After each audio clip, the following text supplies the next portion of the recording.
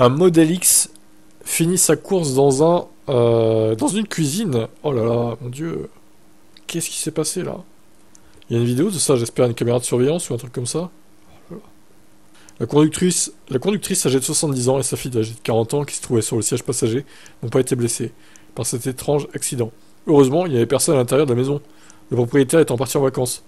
Putain, il va avoir une belle, euh, surprise en revenant, lui. hein. Un responsable de l'information publique pour le département de la police de San Mateo a déclaré ça. Donc, la cause de l'incident n'a pas encore été déterminée, mais après les premières observations sur place, la voiture a probablement volé de 10 à 15 mètres dans les airs. oh la vache. Selon Jérémy Surat, qui a ajouté que le Model X n'était pas en mode co- conduite autonome lorsque la conductrice a perdu le contrôle. La police et les pompiers ont été dépêchés sur les lieux vers 7h10, où le SUV a heurté un trottoir, traversé une cour et une allée, percuté deux voitures en stationnement, franchi une clôture et volé au-dessus d'une piscine. Mais pardon, mais... euh, Mais elle roulait à combien la dame là? Parce que bon, euh, au bout d'un moment, euh, les personnes âgées au volant, moi j'ai un peu de mal. Hein. Je commence à avoir un peu de mal, je vous avoue. Hein. 70 balais, euh, mettre dans les mains d'une personne de 70 ans une voiture qui fait 500 chevaux, bon. Alors je sais pas quelle version c'était du, du X, c'était peut-être la Plaid en plus, euh, en- encore pire. Non, je pense pas quand même. Ouais, quoique, on sait pas. hein.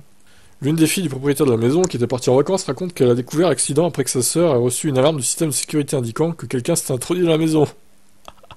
Ah, c'est cocasse, oui. Effectivement, quelqu'un s'est introduit en voiture directement, en voiture bélier, dans la maison.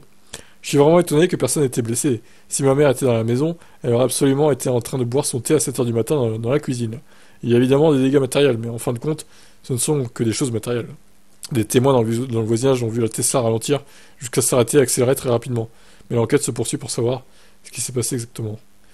Bah euh, ouais, parce que là, franchement, euh, c'est terrible quoi. On n'aura pas vu grand-chose au final. Voilà, voilà. euh, bon. Alors, euh, j'ai hâte de savoir euh, le fin mot de l'histoire quand même. J'espère qu'on aura un retour sur ça. C'est sûrement la conductrice la fautive, hein, encore une fois, euh, voilà. C'est trompé de pédale encore, elle a accéléré au lieu de freiner. Oh la débilité, si c'est ça, vraiment, c'est c'est grave, hein, franchement. Qu'est-ce que vous en pensez de ça?